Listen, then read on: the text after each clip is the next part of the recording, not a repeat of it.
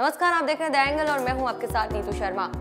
पूर्व मुख्यमंत्री वसुंधरा राजे लंबे सियासी क्वारंटाइन के बाद एक बार फिर प्रदेश की सियासत में कम कर चुकी हैं और काफ़ी सक्रिय दिखाई दे रही हैं। हालाँकि उन्हीं के पार्टी के कुछ लोग उन्हें आगे बढ़ने से रोकने की कोशिश कर रहे हैं। इनमें पार्टी प्रदेश अध्यक्ष सतीश पूनिया का नाम प्रमुखता से लिया जा रहा है। इसी बीच वसुंधरा राजे का एक ऑडियो काफ़ी वायरल हो रहा है। इसमें वे सरकार को घेरने की कोशिश कर रही हैं। मामला पाली ज़िले से जुड़ा है, जहाँ पिछले दिनों काम के दौरान एक मजदूर कुएँ में गिर गया था। इस मामले को लेकर वसुंधरा राजे और पूर्व भाजपा सरकार में गोपालन मंत्री रहे ओटाराम देवासी बात कर रहे हैं। इसमें ओटाराम देवासी ने जिला प्रशासन पर लापरवाही बरतने का आरोप लगाया है कि घटना को 15 दिन बीत जाने के बाद भी कुएँ में गिरे मजदूर का शव अभी तक भी बाहर नहीं निकाला गया है। वही इस वायरल हो रहे ऑडियो में सिरोही से विधायक और सीएम गहलोत के बेहद खास माने जाने वाले संयम लोढ़ा का भी ज़िक्र हो रहा है। संयम लोढ़ा पर ऑडियो में आरोप लगाया गया है कि जब मृतक मजदूर के परिवार ने शव निकालने के लिए मदद की गुहार लगाई तो उन्होंने पीड़ित परिवार पर शव नहीं मांगने का दबाव बनाया। इस पर राजे ने संबंधित जिला कलेक्टर से मामले को लेकर बात करने की बात कही। हाँ मैंने फ़ोन किया था मैम। मैं यहाँ आया हुआ था अपने सिरोही विधानसभा क्षेत्र में एक जोगापुरा करके गाँव है। हाँ हाँ। तो उनके क्या है कि सुमेरपुर के पास में कानपुरा गाँव है।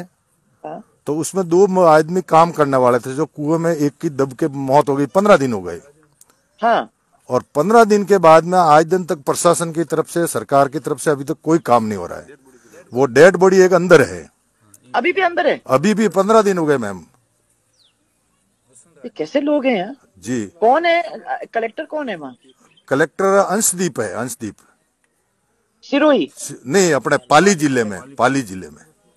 पाली ज़िले में होना नहीं चाहिए। तो ये ये काम है हुक्म सुमेरपुर विधानसभा का काम है और ये जो डेथ डेथ बॉडी है वो मेरे सिरोही विधानसभा की है।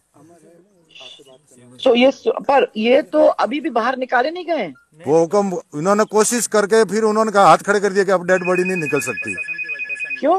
वो कह के हमारे पास में पैसे नहीं है फंड की व्यवस्था नहीं है। मैम अमर बात कर रहा हूँ ये पे ये अमर अपने या मीडिया से हैं। मैम मैम अमर बात कर रहा हूँ तिजारा वाला ये तीजरा वाला अमर बात कर रहा है। हाँ बोलो अमर। मैम नमस्ते। हाँ बोलो अमर। मैम मैं मौके पे अभी आया हूँ। यहाँ पे प्रशासन कह रहा है कि पाँच से सात लाख रुपए का इंतज़ाम नहीं हो पाएगा तो बॉडी निकलेगी नहीं।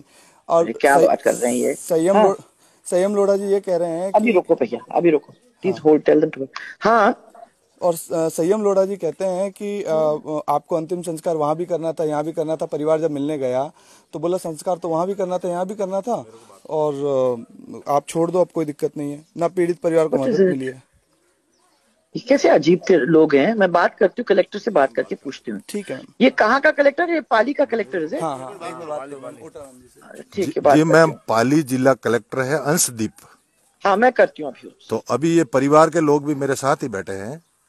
तो ये कोई भी अभी तक अपने ये ज्ञान वगैरह कोई नहीं गया क्या? नहीं नहीं वो मैम पाली ज़िले में अभी तक कोई नहीं गया। वहाँ सिर्फ़ अ, भाई जी- जोराराम जी जाके आए हैं। जोराराम जी जो सुमेरपुर एमएलए हैं।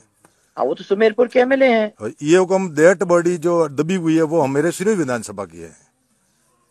हाँ पर वो सिरोही की है परंतु कलेक्टर तो इधर का ही है ना? कलेक्टर पाली का। पाली का। मैं बात कर लेती हूँ हादसा पाली में हुआ मैम। कैसे भी करके इनको मदद करनी है वो। अभी बात कराते हूँ। जी मैम नमस्कार। इस तरह कहा जा सकता है कि वसुंधरा राजे एक बार फिर एक्शन मोड पर आ गई ही हैं और एक बेहतर विपक्षी नेता होने के साथ राजस्थान की जनता की सच्ची हमदर्द के रूप में उभरने की कोशिशों में लगी हुई हैं। इन सब के बीच कहा जा रहा है कि प्रदेशाध्यक्ष सतीश पूनिया की राजे को राजस्थान की सियासत से साइडलाइन करने की कोशिशें विफल होती जा रही हैं।